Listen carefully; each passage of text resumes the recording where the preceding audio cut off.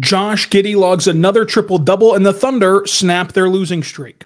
You are Locked On Thunder, your daily Oklahoma City Thunder podcast, part of the Locked On Podcast Network, your team every day.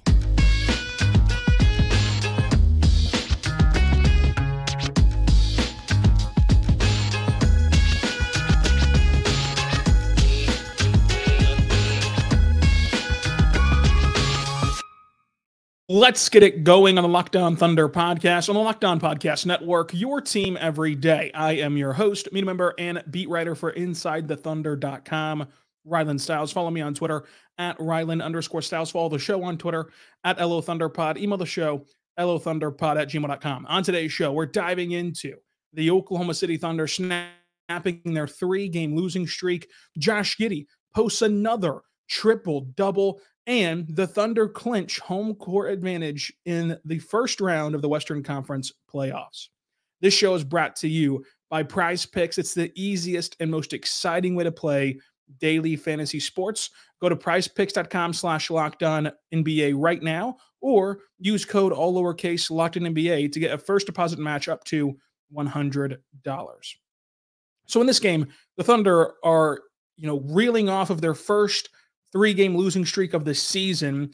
They have no SGA, they have no J Dub, and they found a way to buckle down late and get a win. Overall, this was a good win. I know that the you know I know that the Hornets are not a good team, and the Hornets are not someone who um, a 50 something win team should have problems with. But when you consider you were without SGA, without J Dub, and you really needed to get this win, especially with some of the results that you saw around the Western Conference. The, the Clippers making that big comeback over the Cavs and uh, all the standings watch that's going to go on. You really needed to get this win, and the Thunder did. Now, uh, it wasn't a, a, beautiful win, right? You, you, grew a 14 point lead and saw that dissipate, and eventually saw uh, the Hornets take a four point lead late in the fourth quarter.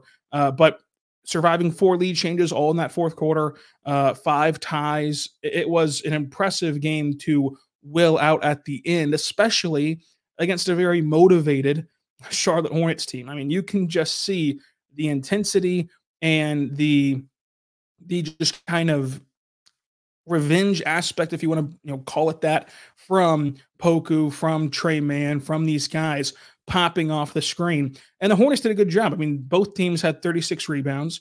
Uh, the Hornets had 18 turnovers, but they they turned over the Thunder 16 times. Typically, that number is a wide, wide, wide disparity favoring Oklahoma City. Paint's points were tied at 50 apiece. The Thunder typically win those. Second chance points went to OKC 18 to 9. The Thunder typically on the wrong side of that one. And the Thunder got back to, to taking care of business in the fast break. They dominated 19 to uh, 6 against Charlotte. This was a very offensive game. The Thunder shot 51% from the floor and 50% from three, but it also came with some uh, defensive stops at timely moments for OKC down the stretch. Uh, the Hornets shot 54% from the floor, 42% from three, uh, and 78% from the free throw line. I, I think that you know you can pick this game apart left, right, and center. The the only end goal in a game like this, in a situation like this, we are trying to keep pace in the West uh, is to survive in advance and is to uh, just get the win. You're going to see SGA return against Sacramento on Tuesday and you know go from there. But in terms of this game against Charlotte, you had to get the win. And a big part of why you got the win was Josh Giddey. Once again, he comes through. And once again, you're left saying that this is all repeatable stuff. Second straight Sunday of a triple double. He puts up 20 points, 13 rebounds, 13 assists, and a steal. And the biggest play of the game happened from Josh Giddey. And the biggest play of the game happened when Josh Giddey comes flying in on the offensive glass, pokes a rebound out of the hands of the Hornets, and kicks it over to Aaron Wiggins for three, cuts it down uh, to a one point game. It might have even tied the game, but I think it was a one point game when that happened. Like that just reeled the Thunder back into it with around two minutes to go or, or less than that in the first quarter. And so, like, that is a game changing play. And that is a game changing play that Josh Giddey can use his length and his size to his advantage, no matter who he's sharing the floor with, no matter if his shots are falling, no matter the circumstances. And so that was a really heads up play by Giddey. Also had the uh, you know go ahead assist to Isaiah Joe for three. And you can just see how he made his presence felt on the glass. You, you tied in the rebound category, uh, and Chet had 10 of them. Josh Giddey had 13 of them. Like, so that was your source of rebounding in this game. And it was nice to see Josh Giddey uh, making an impact there. He got to the line six uh, for six free throw attempts, went five for six at the charity stripe. You love to see him getting downhill harder, which is what's getting uh, him the ability to shoot free throws. It's been a constant uh, discussion point around his career has been how can he elevate himself at getting free throws. He's talked about it. The coaching staff has talked about it. And over this last stretch, he's gotten to the line more. That's something that you really like to see from Josh Giddey. And it's a direct result of playing with more offensive force uh, and, and getting downhill harder. One for one from three, but that one three was a you know contested little jab step three. A lot of confidence in that shot, and also wasn't forcing uh, the threes either. Uh, went 46% from the floor overall, you know, which I think for someone in his position, right? Like as someone who's played 37 minutes and was asked to take 15 shots, like that was a good mark for him. Obviously, there's some shots in there you want to have back overall, but uh, I think that Josh Giddey played a really good game. His plus 15 uh, would also tell that story as well. I think that Josh Giddey deserves major flowers for the simple fact of uh, yes, each offensive number looks good for the Thunder in this game. Their free their, field goal percentage, their three point percentage, it all looks good for the Thunder in this game. They scored 121 points. But if you watch that game, you you consistently throughout this week have seen the difference.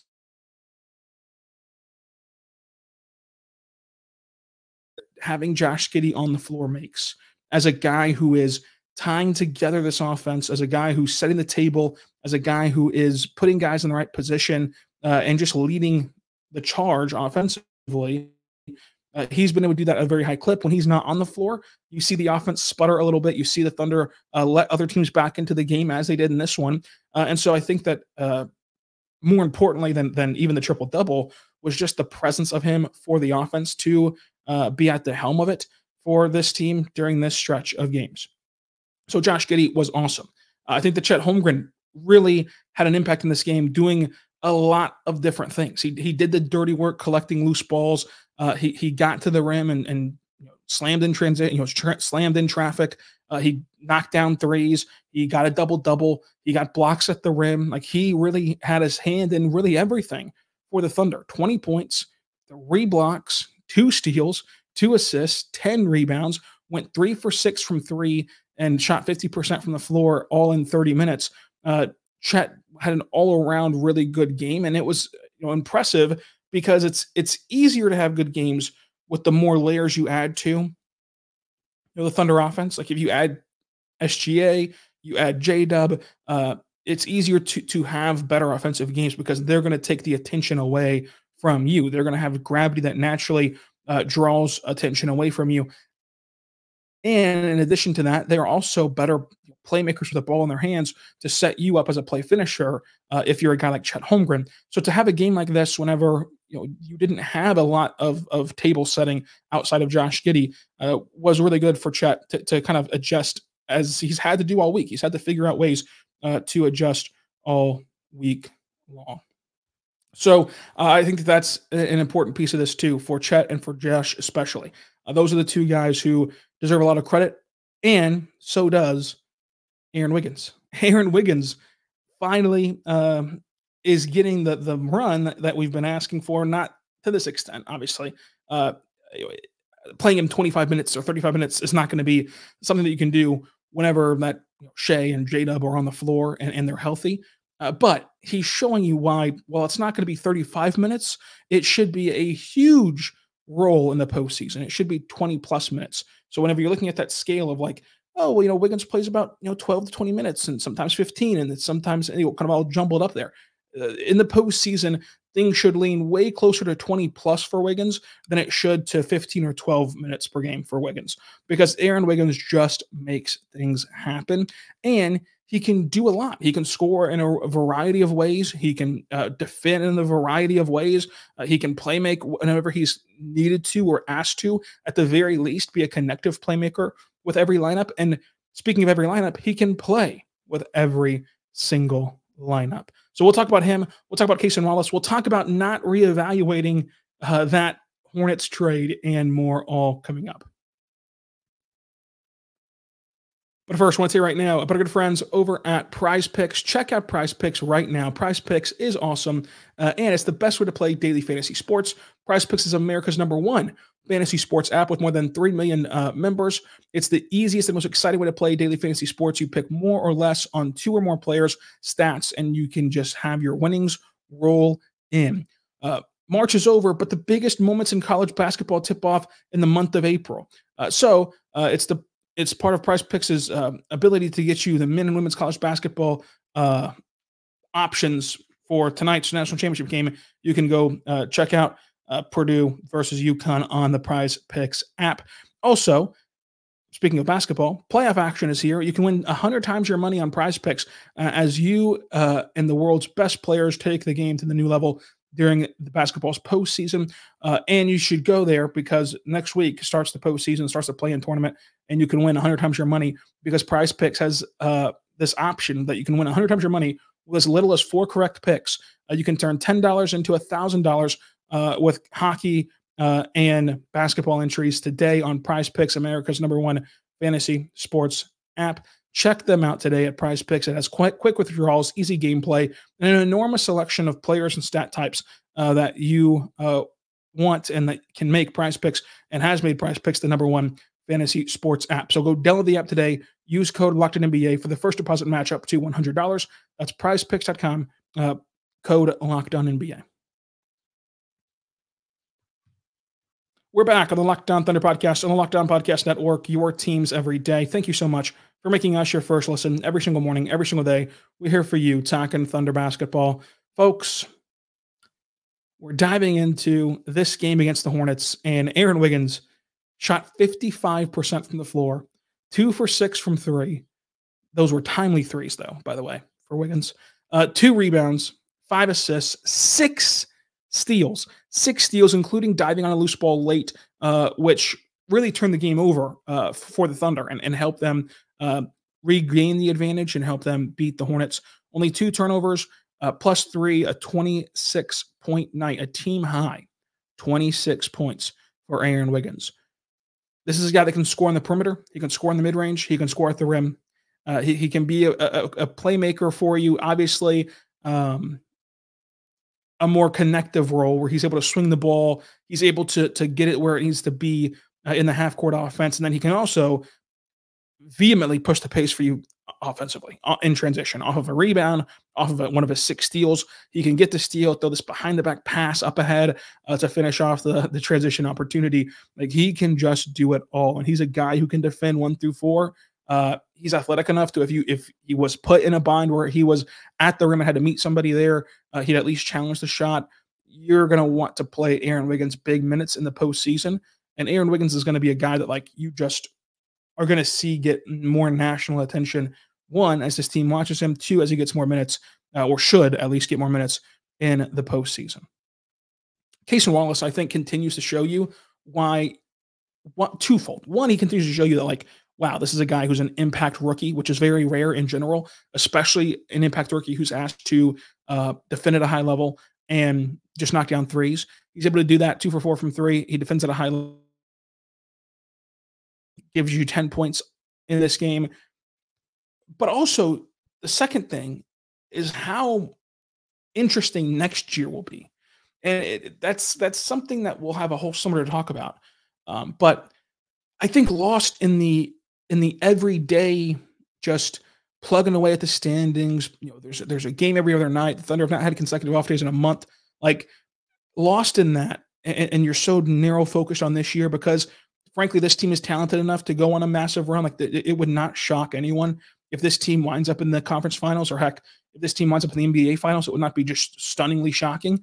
Uh, lost in that is one, how young this team still is. Two, how how, how you know this is going to be a long form uh, runway here for this core, and three, a guy like Cason Wallace, who I think has shown you that he can be a high, high, high level high, high, high level three and D option uh, as just this corner sitting, uh, floor spacing, cutting play finisher.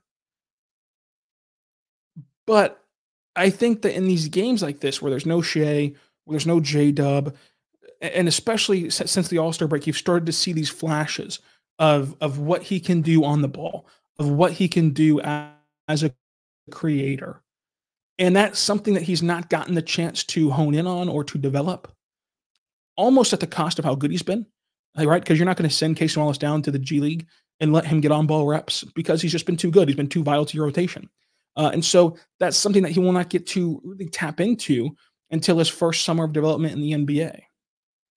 And so I think that that's an example of a guy who, while everything looks like it's just as best as it'll get right now, that's an example of a guy who I believe next year we could be looking at in a totally different light and again be wondering how did the Thunder have all these luxuries? How did the Thunder have all these quality basketball players? Because you look at this team, this team has gotten insane injury luck. And yet Shai's missed six of the last seven games and J Dub missed a, missed you know the the four straight games, and in that time you were desperately missing someone who could just simply create space for this Thunder offense. So it's it's not um it's not anything too crazy to think that Cason Wallace, who was a good on-ball player in college, can do the same thing in the NBA as he's shown you these sprinkles of flashes uh, here recently. So I'm, I'm, interested in that. I'm interested in to see how that kind of goes down. But I think that Cason and Wiggins were both two huge pieces in in this team win for the Thunder, as was Lindy Waters. Look, you know, we can have our quorums with, with Lindy Waters, and we can kind of have our uh, discussion points of of his role and and uh, his fit with the organization. The one thing that you cannot deny about Lindy Waters, the organization trusts him.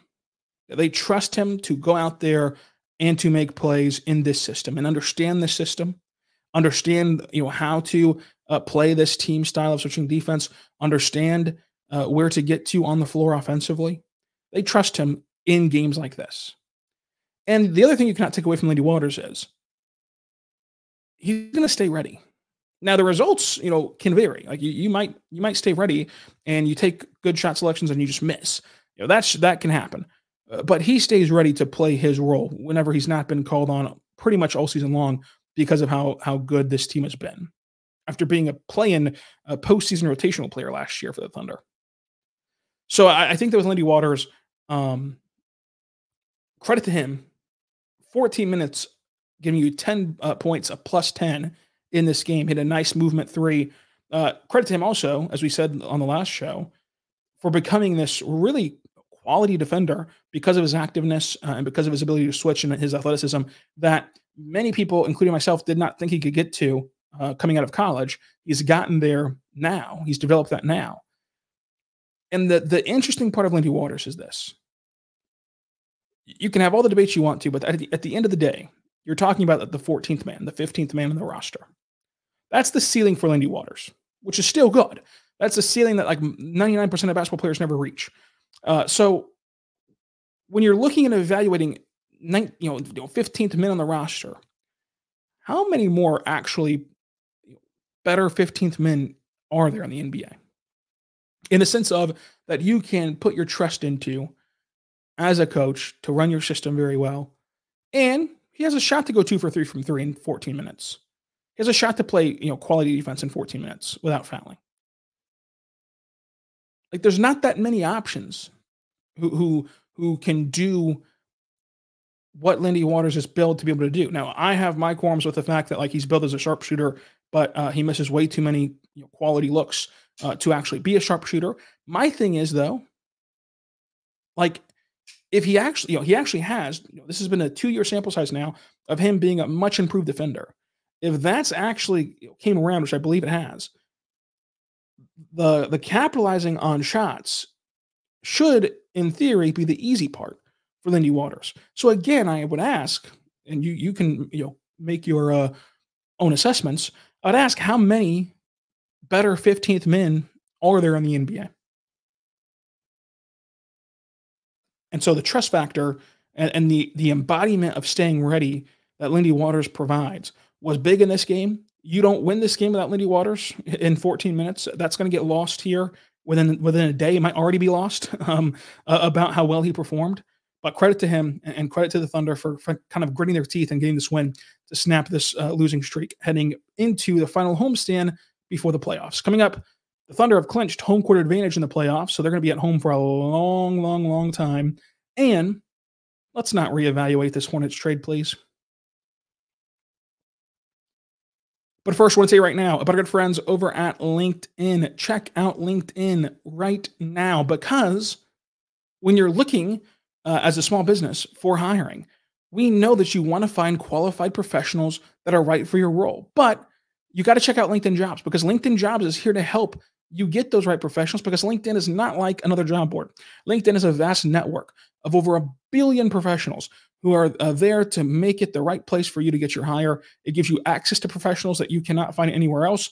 LinkedIn does all uh, that while making the process easy and intuitive. Hiring is easy when you get more qualified candidates. It's so easy, in fact, that 86% of small businesses get qualified candidates within 24 hours. LinkedIn knows that small businesses you're wearing many, many hats, and you might not have the time or the resources to make a hire and go through a thorough, you know, or go through a, an expansive hiring process. But LinkedIn continues to find ways to make that process easier. Uh, they have just launched a feature that helps you write job descriptions and makes the process quicker uh, for you. 2.5 million small businesses use LinkedIn for hiring. Post your job for free at linkedin.com slash LockedOnNBA. That's linkedin.com slash LockedOnNBA to post your job for free. Terms and conditions do apply at linkedinjobs.com slash LockedOnNBA. We're back on the Locked On Thunder podcast on the Locked On Podcast Network, your teams every day. Thank you so much for making us your first listen every single morning, every single day. We're here for you talking Thunder basketball. Folks, we are looking at this game from the Hornets and Poku plays well. He dunks on Jay Will and gives a little flex. Uh, you know, you see Tre Mann play well, Micic play well, even Bertans is in on the action, and it's easy to just try to revisit that trade. The bottom line is the way you evaluate that trade is the same way you evaluated it in February. Sure, Poku and Micic and Mann, not so much Bertans, Bertans, like we kind of know what he is. You know, zebra is not going to change its stripes or whatever that saying is. Uh, you know, Bertans is going to be a, a sharp shooting defensive liability, and that's what he's been for Charlotte. And he's gotten on the floor for Charlotte, uh, and that's been great. Uh, but Poku and Micic and Mann, everyone understood, and you can go back and listen to the show. Like everyone understood that like those guys had potential. Those guys could be uh, NBA players they just were never going to be that in Oklahoma City. They weren't going to get the minutes. They were not going to get the opportunity. And so for them, it's a win because they get to go to an organization who has nothing but opportunity to give and uh, and go and try to not not revive, but try to elongate their NBA career uh, with an opportunity to showcase their skill. And for the Thunder, you clear up cap space and you get Gordon Hayward, who on paper uh, should and still should impact your your playoff rotation as a floor spacing uh, you know, three point shooting veteran. Has not been the case thus far. He'll be out against Sacramento again with another injury. So we'll see, you know, what, what that ends up being. But you did clear up cap space. The bottom line is the alternative of that is not making a trade and and having Mann and Micic and Poku not play minutes at all. And furthermore, like the most important part is Mann and Micic and Poku have not done anything in Charlotte that that that you did not see them do in Oklahoma City this version of Tre Mann is rookie year Tre Mann. Like whenever he got opportunity, he played this way. He didn't fit with the Thunder, even while playing this way. Whenever Poku got opportunity and was healthy, he played this way. You know, he, I think that Poku's playing with more offensive force. That's a big key for him. Great job there from Poku, uh, which you saw last year before the injury as well. Uh, but other than that, Poku's been the same player uh, that he's been. They did not, you know, they were not on the same page as all, at all, you know, as the organization with Poku. So uh, Micic, like same thing. Micic in January played this way and played this style of basketball, but you could not project him playing in, in the postseason on a postseason roster in a postseason environment uh, defensively. And that adds to the layer of every year there's a billion players who are playing on on teams like Charlotte who might be playing above their skis, who are playing teams that are unmotivated, who are able to rack up these stats. Like, are you buying into Jalen Green right now? Like, if your opinion of Jalen Green has not changed off of his last March, then your opinions of Poku and Mann and Micic should not change either. Like, that's the bottom line. And so I think that this is a great win for them, for the for the the, the, the trade in general, because Poku, Mann, and Micic are getting the chance to say, "Hey, hey, you can still use me on an NBA roster. Tre Mann should get another opportunity. Poku, Micic, like these guys are showing, like, hey, like we can we can play NBA basketball. We just couldn't play NBA basketball there." And that's what happens sometimes. This is a very intricate and interesting system. It's why, whenever you look at the draft, uh, people always talk about, oh, he's not a Thunder guy or he is a Thunder guy because it takes, they're looking for something very, very, very specific and something that those three guys just did not do.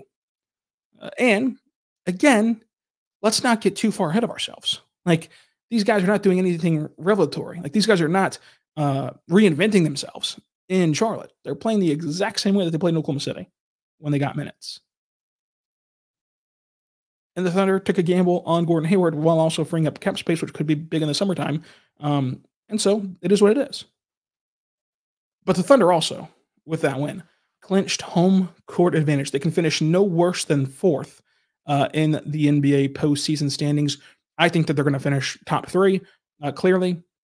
But it's just in general, it's just great to see that this Thunder team, who uh, is not that far removed from winning 22 games, 24 games, and last year needing help to get into the play in, uh, they've now leaped into a 50 plus win season and home court advantage in the West for a team that was projected to win 44 games, for a team that, um, you know, people were saying like if they can find a way to get top six, it'd be great for them in this Western Conference. For a team that people still projected to be a play-in level team, for them to ensure themselves with four games to play that they'll be hosting a playoff series it's really impressive. And, you know, during this stretch, people kind of had the chicken little the sky's falling. They're still only a game out of first place with a tiebreaker over Denver.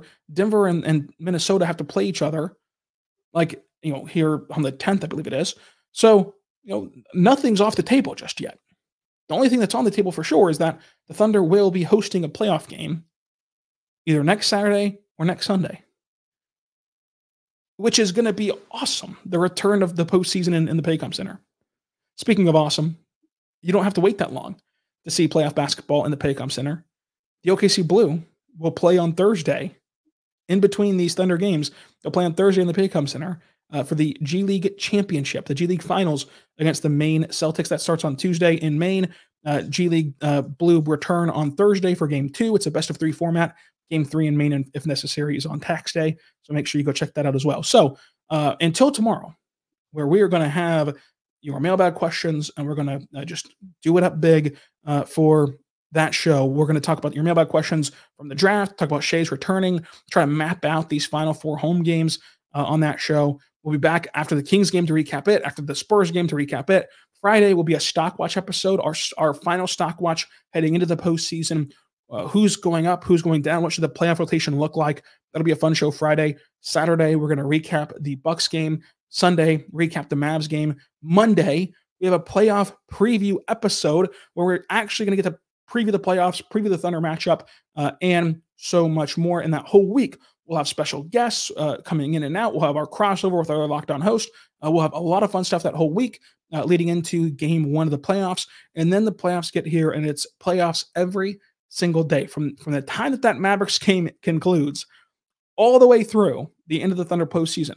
You will have a podcast every single day, Monday through Sunday, and on game days you'll you'll have bonus content on game days. Trust me on that. But until tomorrow, make sure you follow me on Twitter at Rylan underscore Stiles. Make sure you go to Inside the Thunder uh, on Sports Illustrated for all your Thunder written content needs, and subscribe, subscribe, subscribe across YouTube, um, and any other, any other podcasting platform that you're on. Uh, subscribe, leave a review, leave a comment. Until tomorrow, be good and be good to one